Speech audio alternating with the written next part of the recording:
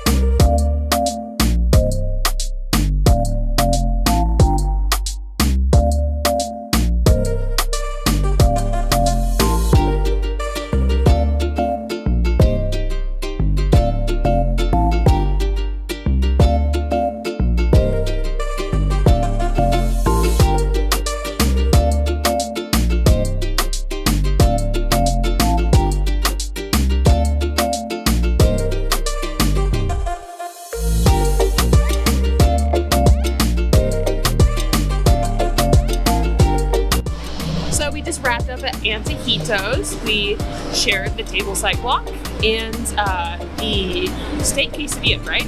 Yep. Say if there's a place to come and visit, you can't go wrong with Antojitos. Their table side guac, Phenomenal. phenomenal. Uh, yes, it is about fifteen dollars, but it's plenty of guacamole. I I think they put in at least two whole avocados in that thing, if not more. It's delicious. You can kind of customize it to make the guac how you want. We don't really like the olives, so we ask for no olives, and you can change, you know, how hot, mild, medium, spicy you want it.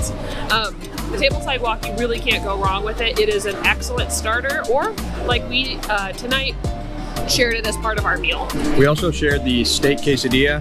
We wanted to do a shareable because we plan on snacking during Halloween Horror Nights tonight, Yeah. and it was a it was a very cheesy It was quesadilla. so cheesy. I'm a huge fan of that. It was delicious. It was a perfect amount of food. Yeah, nice and light. I don't I don't feel weighed down, and um, it was a delicious quesadilla. Nice and easy and simple. So definitely stop here at Antojitos Authentic Mexican Grill. If you're in City Walk, if you got something out of this video, don't forget to like, share, and subscribe. Stick around for more food reviews. Thanks for watching.